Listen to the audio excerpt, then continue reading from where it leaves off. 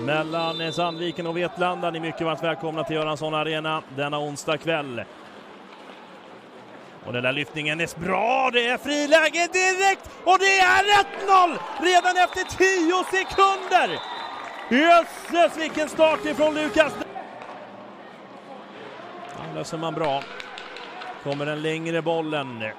Och den går också fram. Här kommer ett nytt friläge. Här kommer Mossberg! Och då är det mål. Det är 2-0 Sandviken. Lukas Mossberg. Se om man kan få det nu. Det kanske man får. Här kommer ett jätteläge! Och skottet ut. Niemi. Han gör det här strålande. Iris Niemi. Oj, vilka dragningar! Och vilket läge! Nu kommer skott långt utifrån. Eh, och retur och då är det 3-0! Erik Hagberg är framme på returen. Det är 3-0 Sandviken. Ny längre boll. Mottagningen går faktiskt fram. Här kommer ett läge för den. Redberg. Anpassningen är riktigt bra till Berlin som kommer till avslut med fin benparad utav Pöck.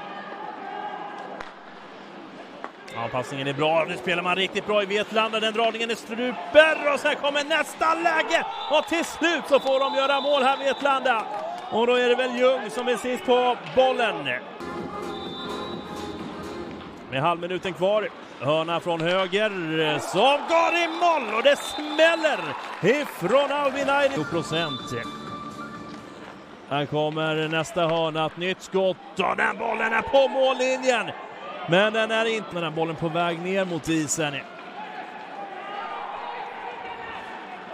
Ja, vilken uppåkning. Är en jättefin möjlighet och det är inte mål.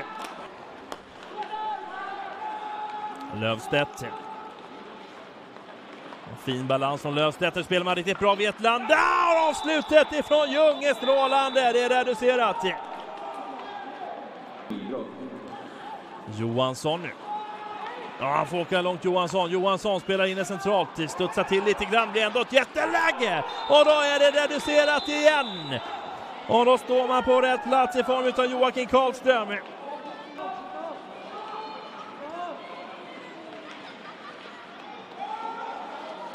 Volley! Oj, oj, oj, oj, oj! Oj, vad bra gjort. Oj, så enkelt det ser ut! Så inte långt ifrån.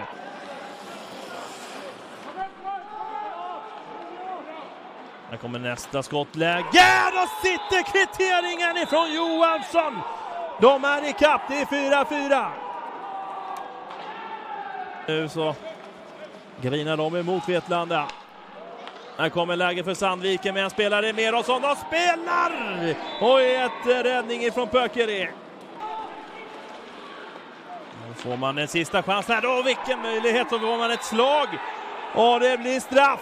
Det blir straff med en minut kvar av tilläggstiden för Vetlanda. Möjligheten med bara 20 sekunder kvar att avgöra den här matchen. Johansson och vilken räddning ifrån Pizzoni!